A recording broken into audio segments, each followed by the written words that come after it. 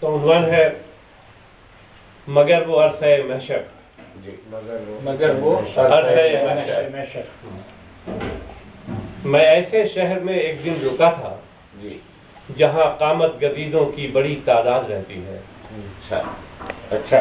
मैं ऐसे शहर में एक दिन रुका था जहाँ कामत गदीदों की बड़ी तादाद रहती है। मिजाज इस शहर का मैं क्या बताऊँ? हम्म, ये ऐसा शहर है जिसमें कुलाहे फाखरा सर पर सजाए नई तहजीब के परवरदा पूरे कद के लोग गिरेड और कुर्सियों के खाब से आँखों के बामों दर सजाते हैं। अच्छा हाँ। नई तहजीब के परवरदा पूरे कद के लोग ग्रेड और कुर्सियों से ग्रेड और कुर्सियों के खास से आँखों के बामों दर सजाते हैं।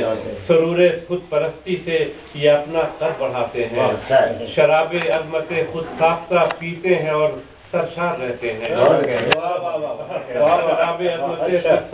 पीते हैं सरशार रहते हैं। मेरे एहसास में अब तक वो लम्हा खैमागन है। मेरे एहसास में अब तक वो लम्हा खैमागन है कि जिसको सुन के मेरी रूह में खंजर सा उतरा था। मेरी आँखों से जैसे छिन गई हो रोशनी उत्तम। हाँ। मैं जब एक दोस्त की तदफीन से फारिग हुआ मैं जब एक दोस्त की तदफीन से फारिग हुआ जब मैं जब एक दोस्त की तदफीन से फारिग हुआ हम्म, तो हाँ, उस दम ख्याल मैं जब एक दोस्त की तदफीन से फारिग हुआ उस दम ख्याल आया कि इस आराम गाहे दायमी में हम्म, मैं पहले भी तो शायद आ चुका हूँ। अच्छा। सपूदे खाक करने अपने एक खुर्शीद पैकर को तो जी चाहा कि उसकी कब्र पर भी फातिहा पढ़ लूँ। हम्म, मगर उसकी लहत को ढूंढना मेरे लिए कार्य मुश्किल था। तो तो मैंने गोर तो मैंने गोरकन से गुफ्तगू की और उससे कुछ मदद चाहिए। मुखातिब था मैं उससे इल्तिजा आमेज लहजे में। जी क्या बात। मुखातिब था मैं उससे इल्तिजा आमेज लहजे में। जमी थी मेरी आँखें गोरकन की जुम्बिशे लब पर।